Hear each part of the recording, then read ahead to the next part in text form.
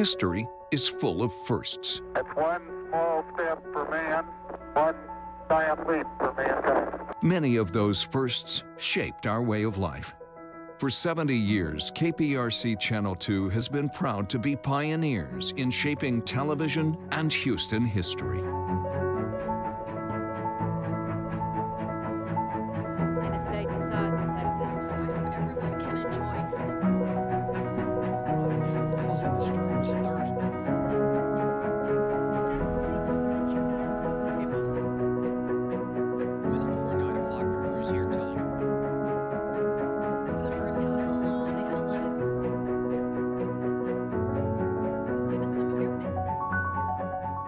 It good to work for a place that has a sense of history?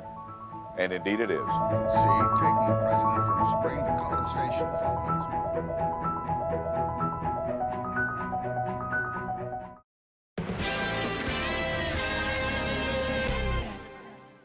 If you have something you'd like Channel 2 Investigates to check out, call the tip line at 713-223-TIPS or email investigates at click2houston.com.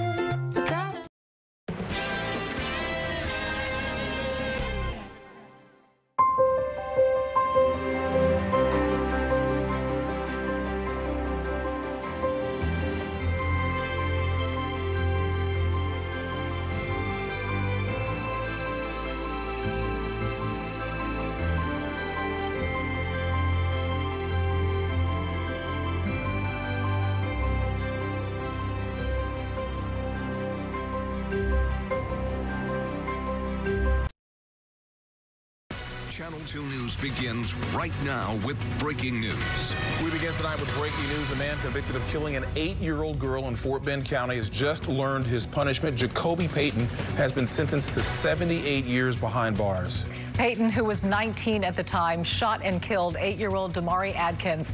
Adkins was asleep in the backseat of a car when she was shot after a wreck in 2017. It happened near the intersection of Fuqua and the Beltway. Again, 78 years is the sentence handed down by jurors just minutes ago.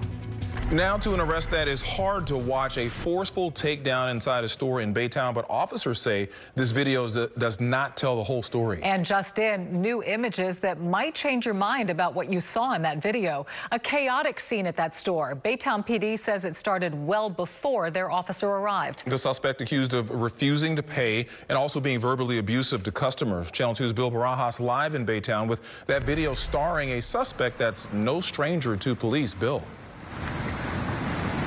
Was actually his third run-in with Baytown Police in just the past three days. He had just got out of jail here and walked down the street on Tuesday to that Conoco gas station.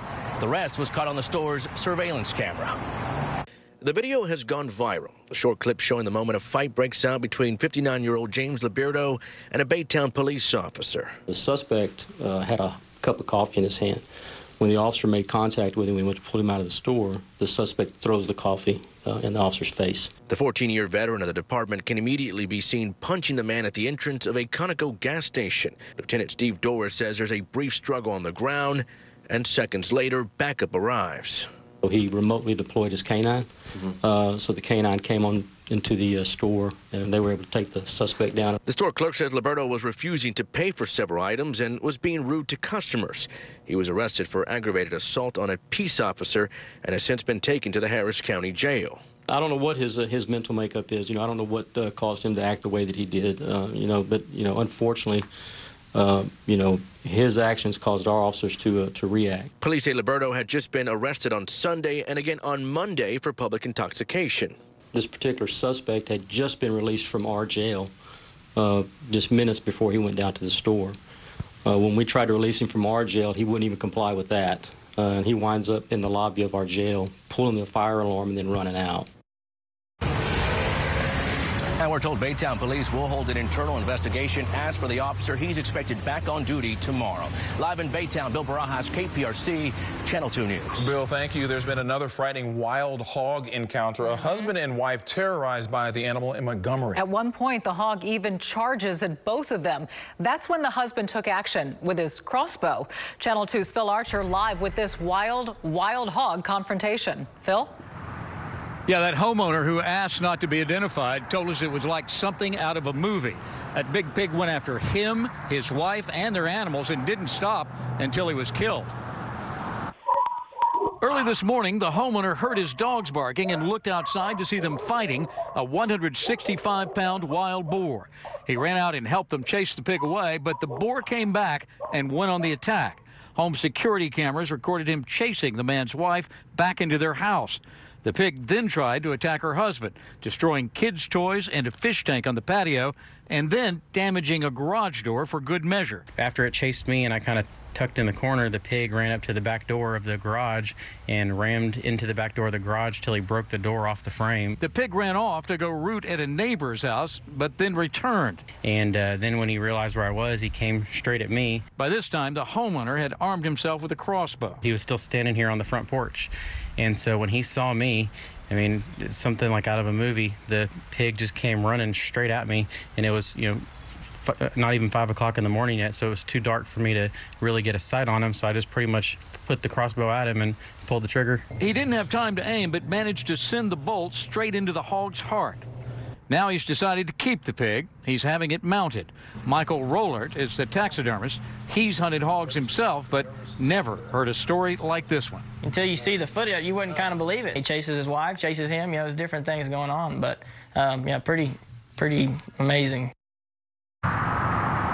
Not all wild hog encounters turn out as well. Last November, a Chambers County woman was killed when wild hogs attacked her.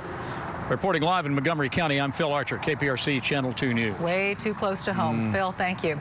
Damp, dark, dreary. Just a few words to describe our weather today. Yeah, another one is drizzly. Mm-hmm. Frank, that is a word you came up with. We can use, use it today, yes. Yes. Yeah, it's definitely so. And it's been raining pretty hard in Galveston. They've had about a half an inch to three quarters of an inch of rain, but some good news there. Things are beginning to quiet down. There's a look. You see that train of rain just continuing to move through, but obviously it's now pulling away. So that red area especially is moving offshore. So that's good news. You'll get a break. In the meantime, fairly quiet across Harris County. The drive today, not so bad. It's just cold out. Temperatures all in the low to the upper 50s, and it's going to continue to be just about there as we go into the evening. 53, 51, 50 and 11. Skies are going to clear, which means a whole lot better tomorrow as all of this continues to pull on through. We'll talk about that coming up. It's been a mess up to our north and off to our east. Look at the line of storms right there into Alabama and Tennessee. Winter weather up to the north around the Great Lakes. Blizzard warnings have been in Minnesota. There's a severe thunderstorm watch with flash flood problems anywhere from Alabama all the way up into parts of Ohio. So they have really been under this system. We lucked out in a lot of regards. So cuddle up for Valentine's. I've got some cold air coming in, even some frost is possible. I'll show you where coming up. A nice Mardi Gras start, and then the next chance of rain is also on the boards. That's straight ahead. Dominique? All right, Frank, thank you. In the meantime, any minute now, a serial rape suspect will go before a judge in a probable cause court on his sexual assault charges. Brandon Carter was taken into custody after the Houston Police Department put out an alert about a series of rapes in West Houston and the Greenspoint area. Investigators tell us they arrested Carter at an apartment complex in Spring earlier today. Here is his new booking photo. Carter is accused of stalking, robbing, and sexually assaulting several women over the last seven months. An anonymous Crime Stoppers tip led to his capture. A man just doing his job was killed today in Rosenberg. The contractor was installing lines when the trench he was digging gave way and collapsed on him. Dozens of first responders worked to save him near FM 2218 near Bryan Road. Syan Rhodes is covering this story. And Syan, in your live report at 5 o'clock, the road was still closed. Has it reopened yet? They have reopened it, Keith, though you can see behind me that there are work crews that have one lane partially blocked off, but traffic is moving through here just fine. As far as the investigation to what went wrong here, sources tell me there did not appear to be a trench box in place. That's something that would usually be at a site like this to protect workers and prevent collapses. It is dangerous work. You're working in, in a trench, anything can happen. Uh, dirt can move very quickly, especially when uh, when it's wet or if you're working in, in loose sand. Investigators say Wednesday afternoon, a worker became trapped. It's a utility contract crew uh, that was putting in some uh, some lines in a ditch. Uh, there was a trench that was approximately eight foot by five foot. Uh, that the worker was working in uh, when the uh, dirt collapsed around him. More than 30 first responders were called to the scene, including the specially trained Fort Bend County Technical Rescue Team. Their primary responsibility was to shore up the trench uh, and make it safe for rescuers to go in uh, and uh, treat the patient as best they could. Unfortunately, they were not able to save the man. It's a tragedy any, any way you look at it. Um, you know, our hearts and, and, and our, our prayers go out to the family. Rosenberg police have not identified the man yet. They say they are still trying to identify or notify some of his family members. And again, as far as that investigation, they have asked OSHA to come in to see if all of the safety protocols were properly followed at this site. Reporting live in Rosenberg, Syan Rhodes, KPRC, Channel 2 News. Thank you, Syan. Meanwhile, a short chase on Houston's south side ended with a head-on crash and a driver facing charges. Houston police tell us it all began along Dixie Drive when police tried pulling over the car. That driver hit the gas and took off. Investigators say he then led police on a five-minute chase to the intersection of Old Spanish Trail and Cullen Boulevard, where he crashed head-on into another vehicle. Thankfully, the innocent driver was only left with minor injuries.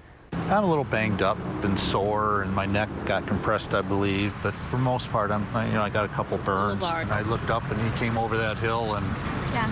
it was a mess. It's just there was nothing to do. You couldn't do anything. It just happened so quickly. An eyewitness to the crash tells us that police broke the window and were forced to drag that driver out. A health alert tonight for a local school district. Coldspring Oakhurst Consolidated ISD is seeing a big spike in flu cases, so it is canceling classes for Friday. The district says it has had excessive absences related to the flu. School will resume Tuesday, February 18th after the President's Day holiday. Here's a traffic alert you'll probably like. Weekend construction on the West Loop at the Southwest Freeway is now limited to nights only. Going forward for the next few weekends, the 610 West Loop at the Southwest Freeway will only be closed overnight. That's going to start this Friday at 9 p.m. All main lanes will reopen each morning at 5 a.m. Now, the area had been shut down continually until Monday morning the past two weekends. Still ahead tonight, a new tribute to Honorary Officer Abigail Arias, the new addition to the Freeport Police Department made in her name. All right, what is that out there? It's orange. I'll explain just what it is coming up and how long it's going to last. That's straight ahead in weather. All right, thanks a lot, Frank. We're live in West Palm Beach. You're with the Astros on the eve of day one of spring training. And for the first time, the players are set to speak about the sign stealing scandal after the MLB report. The players slowly making their way into the facility today. I'll talk about what's next for this team and Dusty Baker's recent comment about this tough transition he and the players will face. That's ahead in sports. Okay, Randy, and space explorer, record breaker, trailblazer Christina Koch talking about her 328 days in space next on Channel 2 News at 6. Electricity for less. So if you want to ask a question, I'm asking a tough question. And we'll respond. The question What are hundreds of pieces of African art doing inside of a county maintenance shed? We can get a tour. Of the entire building? Yeah. Perfect. A private art collection in a public facility with no paperwork. The agreement that you signed, is it reflective of what is going on inside of that shed? No, not at all. Channel 2 investigates. We need to get answers, sir, about what's inside that maintenance shed, sir. Tonight at 10. She is a space exploring trailblazer. Christina Koch leading the way for women in spaceflight after spending 328 days on the International Space Station. The longest single space flight for a woman ever. Koch returned to Earth last week, and now she's talking about her record-breaking feat. Channel 2's Andy Cerota live at Johnson Space Center with that fascinating interview. Andy? Dominique and Keith, Christina Koch says it's been mostly an easy transition since her return to Earth, but she was joking with us this afternoon. She says since her return home, she's discovered some muscles that she hasn't used in a while. And in all seriousness, she's also thought a lot about what she would tell future space explorers. It's the same advice that she got from her mentors, astronauts Scott Kelly and Peggy Whitson.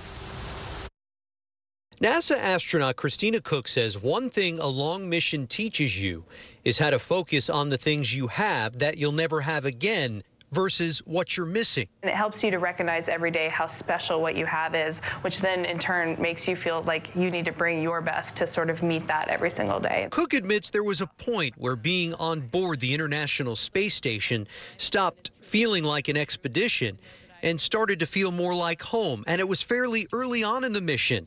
About three months in is when things that were part of her daily routine felt normal. Not using a cup to have a drink of water and filling up food packets and things like that. Even floating, I jokingly say that I kind of forgot I was floating until a new crew would come and they would be so excited about floating. I would think, well, guess we are floating, aren't we? After completing the longest single spaceflight by a woman, Koch says her biggest hope is that her record is exceeded as soon as possible. That means we're pushing the boundaries. More people are living to, up to their dreams and their potential. To follow your passions, be true to yourself, do what you love, and live the life that you've imagined for yourself.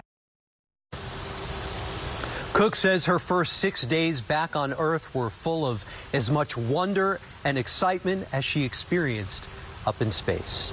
We are live at Johnson Space Center tonight. Andy Cerota, KPRC, Channel 2 News. Yeah, amazing adventure. Glad she's back home, Andy. Thank you. Well, new at 6 o'clock, the Freeport Police Department is paying tribute to Abigail Arias, uh, Honorary Officer 758. Once again, now by naming its newest canine after her. Meet Canine Abigail. The police dog was donated by Vapor Wake Canine Technology out of Anniston, Alabama. The group, like many others across the country, followed Officer Abigail's journey as she battled cancer last year before her death, and they felt moved to make the donation in her honor. Nicely done. And we are also honoring Officer 758 with Bells for Abigail. It's an ongoing series that we started just a few weeks ago. Children ringing the end of treatment bell after battling cancer. We have received dozens of videos, and we hope families will continue to send them to us.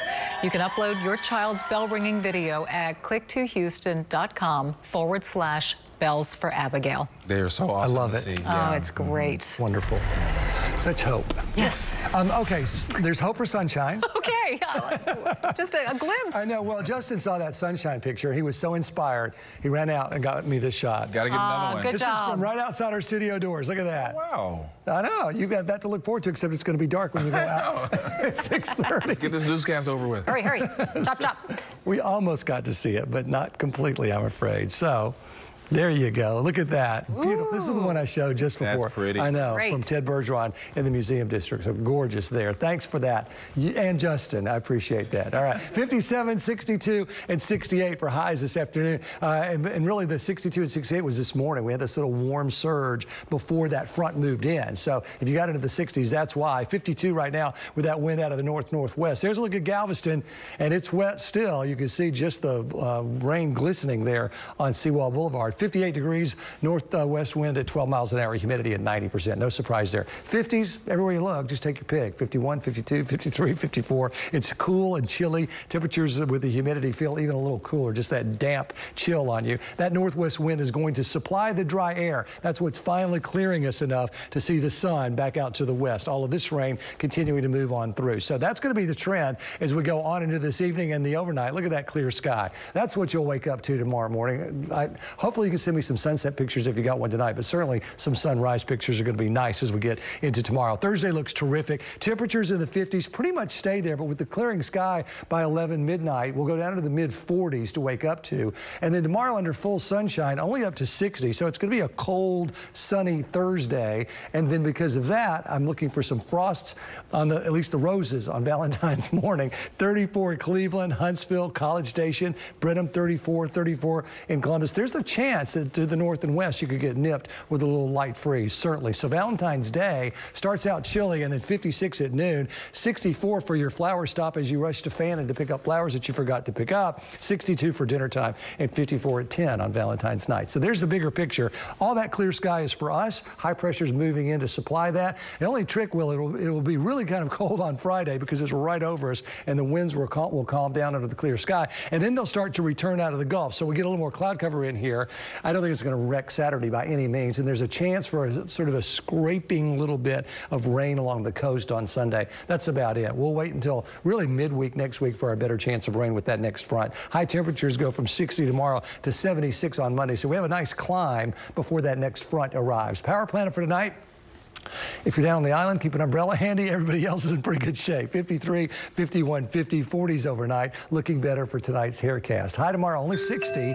If you get above that, you're one of the lucky ones. 64 on Friday. Mardi Gras begins. Saturday's Gambrinus Parade looks good. 68 for Saturday's high. 20% chance of rain on Sunday, but that's mostly at the coast. So the Roughnecks game, no problems there. These are the better chances of rain. 20, 40, 30 for Monday, Tuesday, Wednesday, lingering into Thursday. Clearing again for the San Luis Salute and the Momus Parade the next Friday. Friday and Saturday. That Momus Parade we're going to be carrying live here on Channel 2. That's the, uh, February the 22nd from 6.30 to 8. Right, live from Galveston. Yeah, should be fun. A lot of fun. Yes. Let hey. the good times roll. Yes. right. You know, speaking of sunshine and palm trees. Uh, yes. Yes. Why don't we join Randy McIlvoy live in West Palm Beach, Florida tonight? Hey guys, I can tell you it was like mid 80s, perfectly sunny today. I know the, not to rub it in or anything. Uh, it should be pretty good in the next few days. Hey, we are here. Uh, spring training set to open tomorrow. The players, pitchers, and catchers have made their way here. Uh, they open practice tomorrow, but they've got some talking to do. A lot of it tomorrow. Uh, it's the day we're going to hear from the players as they weigh in on that MLB report, the cheating scandal, and losing their skipper AJ Hinch. We're going to hear from Dusty Baker straight ahead. Plus, Yates Lions are national record holders. Tell you what they accomplished last night, and we got reaction to it coming up next.